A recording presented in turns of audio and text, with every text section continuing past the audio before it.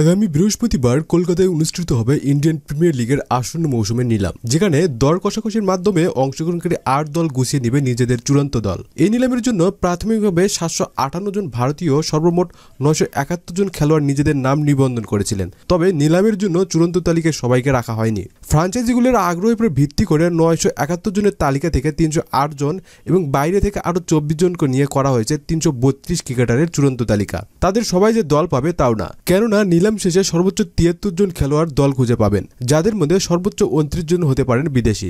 নিলামের জন্য নিবন্ধিত নয়শো একাত্তর জনের তালিকায় ছিল বাংলাদেশের ছয় ক্রিকেটারের নাম। তারা হলেন তামিম ইকবাল, মাহমুদুল্লাহ রিয়াদ, মুস্তাফিজুর রহমান, সৌম্য সরকার, মেহেদি হাসান মিরাজ এবং তাসকিন আহমেদ। প্রাথমিক তালিকা থেকে বাছাইকৃত তিনশো আট জনের চূড়ান্ত তালিকায় বাংলাদেশ তথা কোন দেশের কয়জন ক্রিকেটার আছেন সে ব্যাপারে এখনও আনুষ্ঠানিকভাবে কিছু জানায়নি আয়োজকরা। তবে ফ্রাঞ্চাইজিদের অনুরোধ ক্রমে যে চব্বিশ জনকে নেওয়া হয়েছে বাড়তি, সেখানে রয়েছেন বাংলাদেশের উইকেট রক্ষক ব্যাটসম্যান মুশফিকুর রহিম। তিনি ছাড়াও এই চব্বিশ জনের মধ্যে আছেন Caribbean পিসান Kesrick Williams, Australian allrounder Dan Christian leg spinner Adam Zampa, ইংল্যান্ডের একুশ বছর বয়সী ব্যাটসম্যান উইল জ্যাক্স। তাদের ব্যাটসম্যান, অলরাউন্ডার উইকেট রক্ষক ব্যাটসম্যান, ফাস্ট বোলার এবং স্পিনার ক্যাটাগরিতে ভাগ করা হয়েছে। বুধবার নিলামের জন্য করা তিনশো বত্রিশ জনের চূড়ান্ত তালিকা আট ফ্রাঞ্চাইজির কাছে জমা দিয়েছে আইপিএল কর্তৃপক্ষ, যা এখনও আনুষ্ঠানিকভাবে দেওয়া হয়নি সংবাদ মাধ্যমের কাছে। তবে দর্শক, ফ্রাঞ্চাইজি সূত্রে জানা গেছে এসব নিলাম তথ্য।